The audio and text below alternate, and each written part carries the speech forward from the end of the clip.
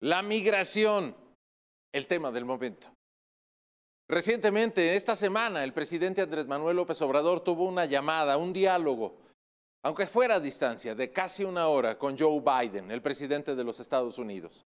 Lo que nos informaron fue haber dialogado sobre tráfico de drogas, tráfico de armas y migración. Déjeme voltear el sentido de los temas. Creo que lo más importante en este momento es la migración. Este día está cerrando el llamado capítulo 12, una medida aplicada durante el gobierno de Donald Trump para poder expulsar sin ningún miramiento a cualquier migrante que llegara a Estados Unidos por riesgo de contagio de COVID. La pandemia ya pasó, el riesgo se disminuyó al máximo. Lo que estamos viendo ahora es una explosión otra vez del ánimo de migrantes de Centroamérica, Sudamérica e incluso de Asia que quieren llegar a territorio estadounidense, pero ¿qué cree usted? Pasando por nuestro país.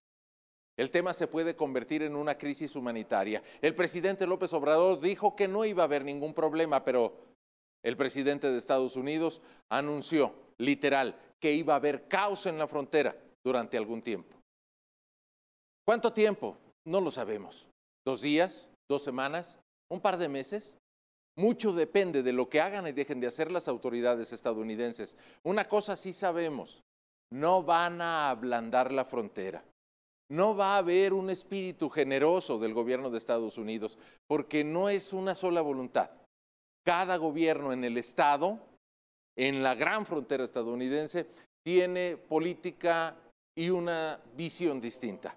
No es lo mismo querer pasar por California que por Nuevo México o por Texas. Sin embargo, son miles, decenas de miles las personas que quieren llegar a Estados Unidos buscando un mejor futuro. No piden ninguna otra cosa que nosotros no queramos. Trabajo, estancia, ver crecer a sus hijos, darles oportunidades de educación, de desarrollo. En suma, lo que querría cualquier habitante del mundo, así sea negra su piel o azules sus ojos, así vivan en Asia o así vivan en América del Sur.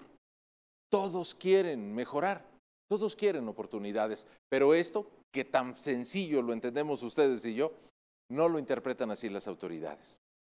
Hay un abanico enorme de visiones y sobre todo de prejuicios. Preparémonos porque por el sur de la frontera mexicana ya salió un contingente de 5 mil y creen que al acabar el famoso título 12 van a poder llegar a Estados Unidos como Pedro por su casa. La pregunta que podemos hacernos y que nos toca a los mexicanos es qué hacemos con los migrantes. ¿De verdad el Instituto Nacional de Migración ya está listo para recibirlos, atenderlos, darles un trato humanitario? ¿Nuestras ciudades al paso de los migrantes pueden darles el trato que mereciera cualquier visitante? Yo le tengo la respuesta inmediata y es no. Pero es tiempo de concientizarnos, porque le voy a decir algo que de tanto verlo parece que se nos olvida el mayor número de migrantes en Estados Unidos es de origen mexicano. Quizás antes fuimos las víctimas, hoy nos toca ser los anfitriones, dicho así, a grosso modo.